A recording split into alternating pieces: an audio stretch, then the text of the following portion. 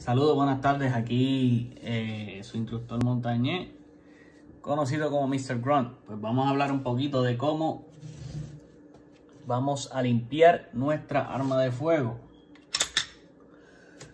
Lo primero que vamos a hacer es asegurarnos, ¿verdad? Que no haya magazine en el arma. Y segundo, que no haya bala en la recámara. Eso es lo primero que vamos a hacer. Segundo, eh, no debe de haber balas en el área de trabajo. Eh, por razones obvias. El abastecedor o magazine que usted tenga, donde estén las balas, usted lo deja en otro lado. Así que eso sería lo primero, asegurarnos que el arma está eh, descargada. ¿Qué necesito para limpiar mi arma? Pues mira, hay varios productos que ustedes pueden usar. Está este que es muy bueno.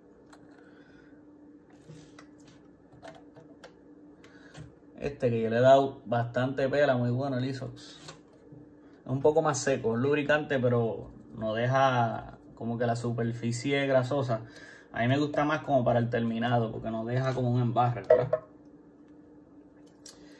Y de mis favoritos tengo el G96. Es tremendo, tremendo lubricante. A mí me gusta. Hay muchos más. Está el Frog Loop, eh, CLP. Eh, existen muchos productos que son excelentes. Una de las cosas que a mí me gusta hacer es, eh, yo voy a cualquier farmacia y compro una jeringuilla. Esta es mi jeringuilla, el cual pues yo cojo la jeringuilla, le pueden ver ahí la puntita pues este se la limo un poquito para que pues no enterrarme la jeringuilla y eh, cualquiera de esos lubricantes que tengo ahí la pongo en la, en la jeringuilla porque entonces puedo directamente aplicar a, a los puntos que yo deseo eh, aplicar en mi pistola o rifle esto que ven aquí es una Canic eh, TP9CF es una pistola, yo diría que es de las más completas en el mercado y donde más valor tú obtienes por tu dinero. Pero eso es otro tema, ¿verdad? Eh, excelente arma y es la que vamos a estar limpiando en esta tarde. Eh, más adelante pues haré un videito en cuestión a esta arma. Una vez nos aseguramos que el arma está descargada, no tiene abastecedor, no tiene balas, procedemos, ¿verdad? A enviar el carro para el frente de esta manera. Eh, al lugar seguro siempre apretamos el, gatillo porque para sacar la corredera pues necesitamos eh, liberar, ¿verdad? El gatillo. Básicamente esta Canic abre igual que la Glock. Si vemos aquí tiene un botoncito. Y en el otro lado también. se abre básicamente igual que la Glock. Me gusta presionar primero el gatillo porque lo único que tendría que hacer sería ahora bajar los dos botones simultáneamente y lo empujas para el frente. Abre igual que la Glock, pero es mejor que una Glock. Y me río, pero yo tengo Glock también, así que no me, no me critiquen porque yo también tengo Glock, pero si algo estoy seguro es que la Canik es mucho mejor que la Glock. Eh, nada, sacamos el, cañón, el spring, el, el guide rod eh, del carro, de esta manera. Y entonces procedemos a limpiar el arma. ¿Qué yo hago primero? Antes de, de untarle algún solvente, ¿verdad? O aceite, lo que ustedes eh, estén acostumbrados a usar. Eh, yo siempre le saco los excesos con, con el brush de, plástico, ¿verdad?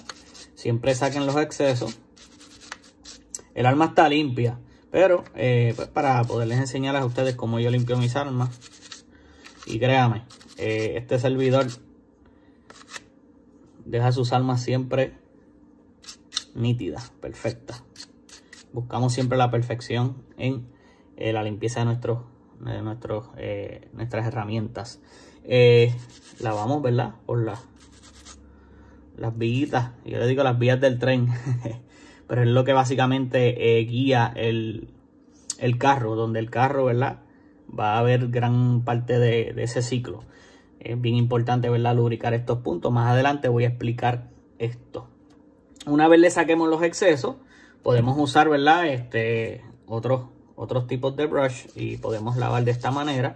Porque en estas partes de aquí se concentran, eh, estas partes de aquí se concentran muchas eh, eh, pólvoras. Y esas partes pues nosotros venimos y las limpiamos. Procedemos entonces con el guide rod y el spring. Y comenzamos sin, eh, sin lubricante. Comenzamos, ¿verdad? A sacar los excesos de, que pueda tener de, pólvora. Este, limpiamos de esta manera. Lo ponemos aparte. Eh, luego limpiamos, ¿verdad? El, vamos a limpiar el cañón. El cañón del arma. Eh, a mí me gusta usar, yo uso un cepillo de bronce. Para no lastimar, ¿verdad? Este, los pliegues del eh, cañón. Si pueden ver ahí, esos son los pliegues del cañón. Esto es lo que hace es que la bala comience a girar. Porque eh, el giro en el proyectil, en la bala, le va a dar eh, dirección y estabilidad en ese, en ese trayecto. Esto que está aquí en la rampa, esto que está aquí, déjame ver si lo enfocamos bien. Esta parte que está aquí en la rampa, por donde la bala sube desde el abastecedor al magazine. Esa parte de ahí también, eh, yo lo con un cepillo de, bronce, siempre le quito los excesos. Ahora mismo está limpia porque, como les, indiqué ahorita, el arma estaba limpia. Una vez le pasemos el cepillo de bronce eh, por dentro del cañón, vamos a limpiar también la rampa. Y luego utilizamos el, el cepillo de, de poliéster, de plástico, como sea. Y entonces vamos a limpiar, ¿verdad? El cañón. Lo limpiamos, sacamos cualquier exceso que pueda tener adentro. Entonces, seguimos eh, limpiando esto por aquí, cualquier exceso que tenga. Siempre limpiando, ¿verdad? Adecuadamente. Una vez está todo limpio, esto no, de verdad que esto no es una ciencia. Eh, es bastante, bastante sencillo. Luego limpiamos dentro del cañón de esta manera.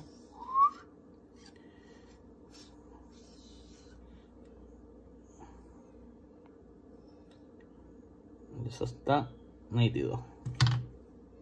Luego, yo acostumbro, ¿verdad? Echarle un poco de solvente o lubricante eh, al cepillo y entonces, pues seguimos, ¿verdad? Limpiando el carro o el carrete limpiamos cualquier exceso que pueda tener así de esta manera. Este de esta manera sacamos cualquier verdad este exceso que esto pueda tener de o pólvora o sucio. Eh, y siempre le sigo enfático a, a, a, mí, a mis amistades, a mis clientes que el arma es una herramienta. El momento en que usted la tenga como algo que si se le cae eh, no lo puede dejar caer y se daña, pues mire, eh, no, la, no la va a usar debidamente. Esto es algo que pues, se va a ensuciar, se puede caer. Y usted, pues usted siga para adelante, ¿verdad? Entonces tendría una excusa si se le guaya o algo de comprarse otra. Una vez eh, hayamos limpiado el arma, yo procedo entonces a lubricar el, el cañón. Bien importante. Entonces, ¿para qué yo tengo esto? Esto, como les decía, esto es una jeringuilla que yo compré en una farmacia. Eh, le pulí la, la aguja para no, ¿verdad? Enterrarla, eh, enterrármela en la mano sin querer. Y eh, lo que hice fue que le puse lubricante, le puse el Gun en la jeringuilla, porque entonces yo puedo ser específico y lubricar las partes que yo quisiera lubricar. hay que lubricar las partes donde más fricción existan en el arma. En este caso, como puede ver, esta arma pues yo la he usado eh, bastante. Vamos aquí. Le pongo varias gotitas. Y con el dedo, ¿verdad? Vamos a regar. Y vamos a lubricar el área. Esta parte de aquí también se lubrica. Hay mucha, mucha fricción. De la misma manera, como pueden ver aquí, en los laterales también hay mucha fricción. Por ende, nosotros también tenemos que lubricar eh, esto. De esta manera. En este caso estoy usando aceite eh, de, lubricar. Odors es la, la marca. Eh, pero se recomienda, ¿verdad? Por lo menos los cañones que tenga la viscosidad no sea muy, muy, muy leve porque se va a ir rápido. Por ende, pues si tiene algún, algún otro lubricante que tenga un poquito de más eh, viscosidad, pues sería más recomendable. Tenemos ya el cañón lubricado. Siempre yo le he hecho también por aquí, de esta manera. Le echo una gotita ahí porque ahí hay roce, ¿verdad? Todo donde haya fricción, pues se unta un poquito de, aceite. Ya esto está ready, no, no es una ciencia. Esto se deja sin lubricar. Y ahora vamos para el carro. ¿Dónde y cuáles son los puntos que se lubrican? Pues mira, sencillo.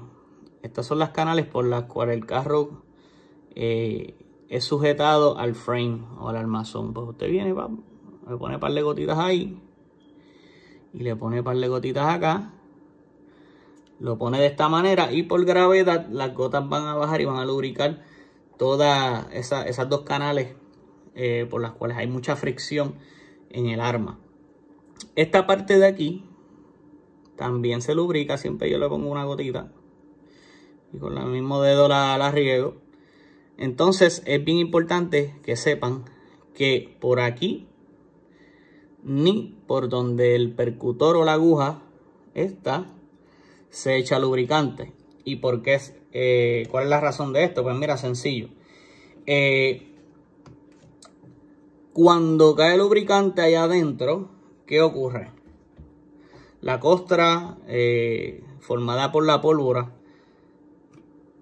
se comienza a acumular allá adentro. Y entonces allá adentro hay un spring, un spring que mueve ¿verdad? la aguja. ¿Qué ocurre cuando esa, esa costra se comienza a acumular entre eh, el spring en sí? o la resortera. El spring va a dejar de funcionar debidamente porque entre sus, eh, sus partes van a haber, va a haber sedimento y no va a funcionar bien. Por ende, nosotros queremos que esta parte de allá adentro, donde está la aguja o el firing pin, esté seco, que no haya lubricante allá adentro. Luego procedemos ¿verdad? a lubricar eh, el lower o el armazón frame de, de la pistola. Eh, esto sería como un double kill, porque ya aquí, pues ya sabemos que con cuando le eché a la corredera o al carro, pues por aquí es que van a pasar, pero vamos a, vamos a echarle, nunca está de más, ¿verdad? Echamos ahí una gotita, una gotita. Y entonces, eh, como les dije, los lugares donde hay, hay fricción, pues le puedo untar un poquito. Ya por lo menos con esto cubrimos, ¿verdad? Eh, los lugares donde hay que lubricar. Cuando usted ve un lugar, ¿verdad? Donde el color se ha salido un poco por la fricción, pues usted viene y lubrica en esa parte, ¿ok? Ya básicamente tenemos todo, todos los componentes eh, cubiertos. Ahora vamos a proceder a, al ensamblaje del arma. Venimos, eh, ponemos el cañón de esta manera. Entonces ponemos el el spring de esta manera y procedemos a montar el arma de fuego. Aquí está, hacemos siempre, recuerde que siempre hay que hacer el function check, el, el chequeo de funcionamiento. Recuerde, siempre, antes de apretar ese, ese gatillo, siempre verificamos que no hay una bala en la recámara. Verificamos, no hay magazine, no hay bala en la recámara. Ahora sí podemos hacer esto presionamos el gatillo, eh, pudimos ver que, funcionó de manera eh, adecuada. Funciona todo bien. Ahora vamos a probar el reset, que el, que el gatillo está haciendo reset. ¿Qué vamos a hacer? Hacemos esto, apretamos, dejamos el gatillo presionado, vamos para atrás, hace reset. Está todo en perfecto orden, por ende eh, pudimos, haber hecho el ensamblaje como lo hicimos correctamente. Bueno, y ahí lo tienen. Básicamente, esta es la forma de limpiar tu arma de fuego. Eh, siempre terminamos eh, pues sacando los, los excesos de aceite que pueda tener el arma. Sacamos esto aquí. La limpiamos. Mira qué bonita la canic. Este. Y básicamente es eso. Realmente no es una ciencia. Eh, si no sabes cómo limpiarla, eh, me puedes escribir. Eh, hay armas distintas en el mercado y le buscamos la vuelta. Y si tenemos que hacer un video y, me quieren hacer una petición, ¿verdad? De algún, de, algún arma que quiere que, les haga el review de, de cómo limpiarla, aquí su instructor montañés está a sus órdenes. Bueno, pues espero que hayan disfrutado el video y que hayan aprendido algo. Estamos aquí, ¿verdad? Para ayudarnos, la comunidad de la segunda enmienda.